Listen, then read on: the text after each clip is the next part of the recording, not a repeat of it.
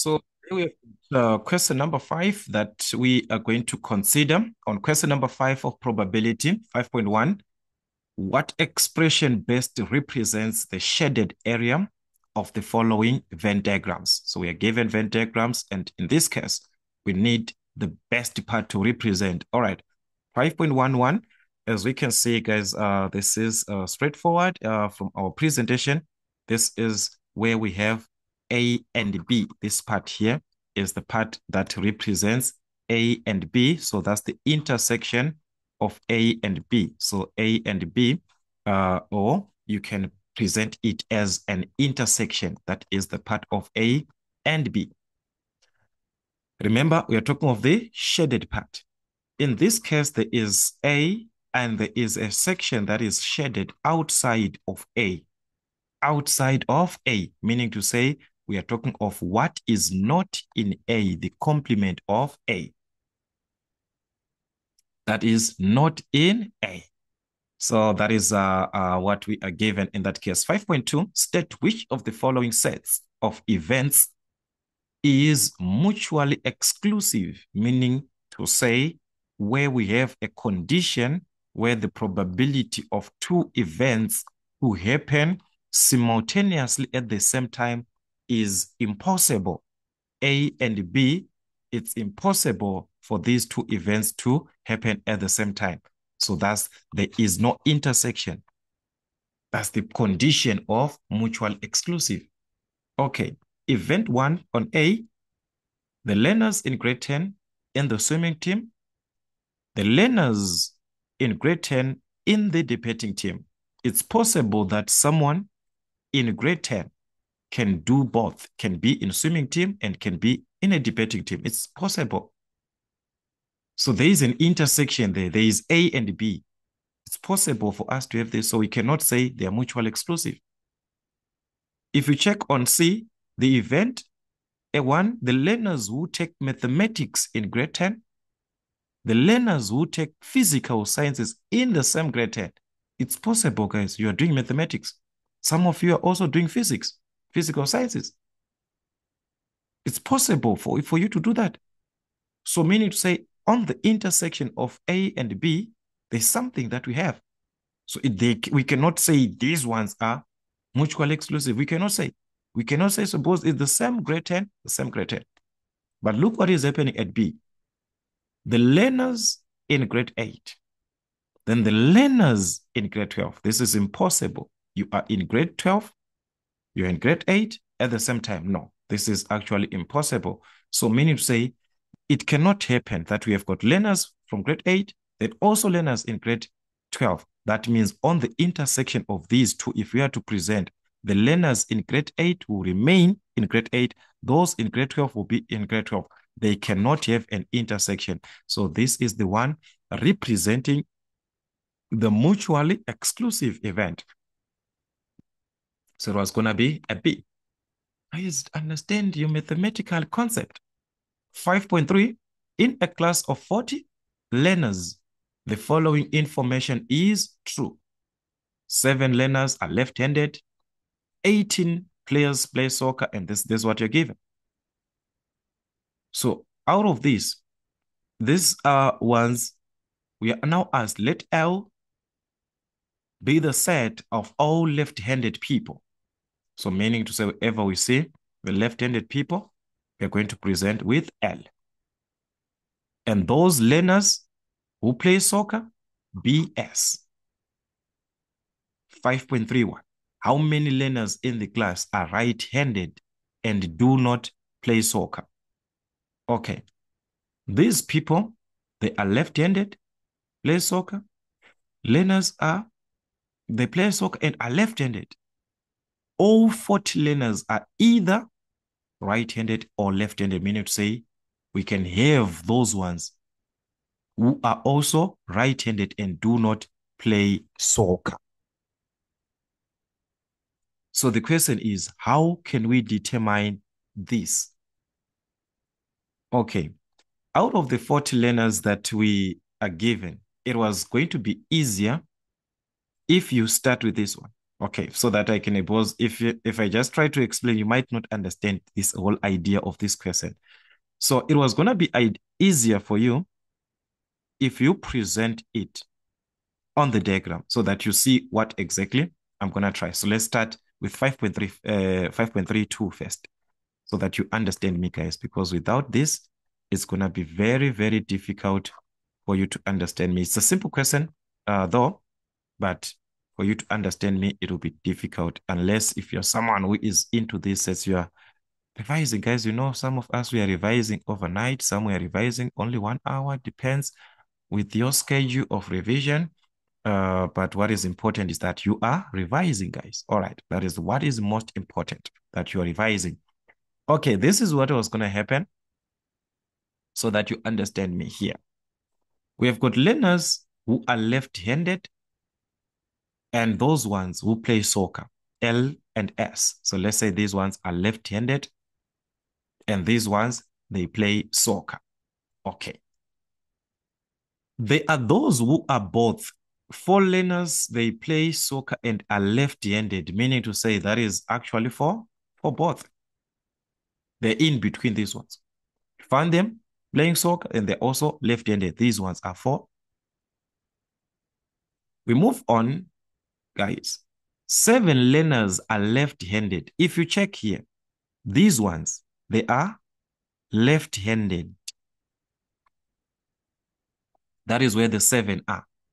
But out of these seven, there are four who are left-handed and at the same time, they are playing soccer. So we must remove out of the seven, seven minus four, you remain with three. These ones, they are left-handed only these ones. They have nothing to do with soccer. They, this one, they are left-handed. All right. So this one, they are left-handed. These ones only. That is what we are seeing. They are left-handed. These ones here, they play soccer, these ones, and being left-handed here. These ones here. This is what we have. That is what we have. Four, those are the ones that we are given. They play soccer and are left-handed, meaning to say they are part of soccer. They're also part of left-handed. But what about the three? That's for left-handed only. Then 18 learners play soccer, meaning to say this one, it's for soccer, this one. The whole of this one. It's for soccer. This one. There are 18 that are inside. So if you are to remove now 18 minus 4, you're going to obtain a 14.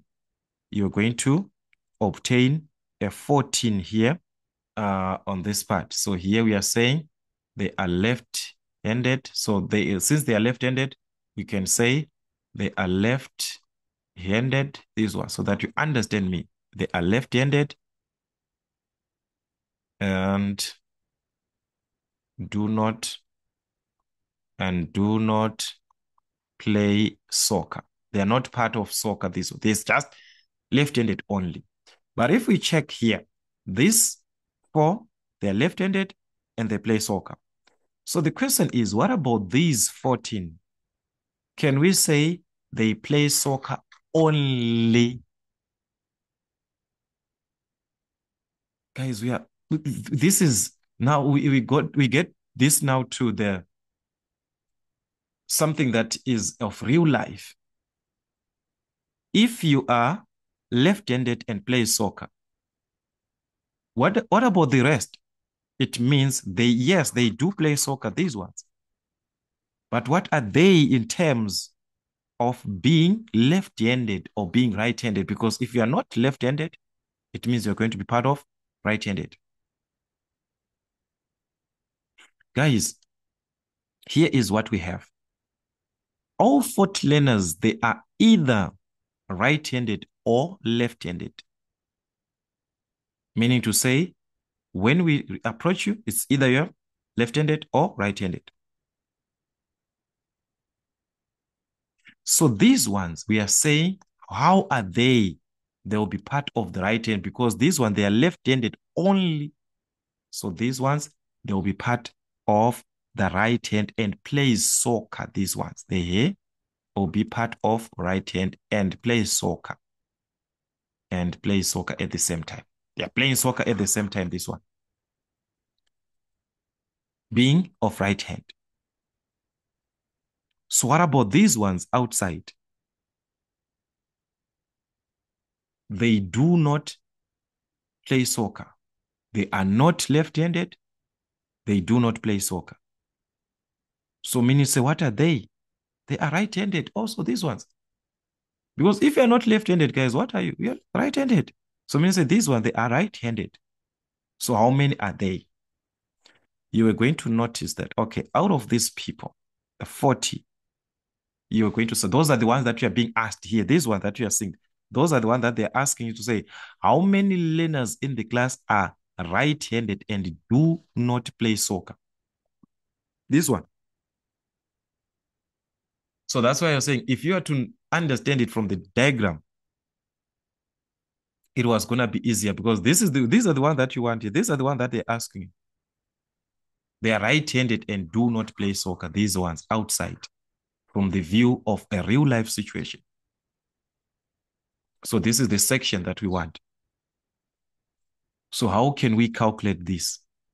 We can simply obtain it because we are given that there are 40 learners. So out of the 40 learners that we have, we are simply going to remove these three. We remove these four. We also remove this 14. By doing this, we are going to remain with 19, which are outside of this set, which are not part of soccer and being left-handed. So there, we are going to answer the first question, 5.31, to say there are 19 people that we are seeing there. Who do not play soccer and are right-handed. We're simply going to have it that way. So if you understand your Venn diagram, it was going to be easier in that case to say, okay, which section, which section am I talking about? Or you're simply going to take out of the 18 players who play soccer, you know that out of these 18, they are also part of being right-handed. So I'm going to remove the 18 from 40. I'm going to remove the 18 from 40. If you understand it now, now you can understand it even without the diagram. So you're simply going to subtract the 18 because they play soccer. There we do not want soccer. So these ones already they play soccer. But out of 18, there is a four who play soccer, these ones, and are left-handed. So you must remove that from a seven to have those ones who do not play soccer because we just want the part of not playing. So it will be seven minus four, which is three. So that was simply going to give us the same answer if you understand it that way.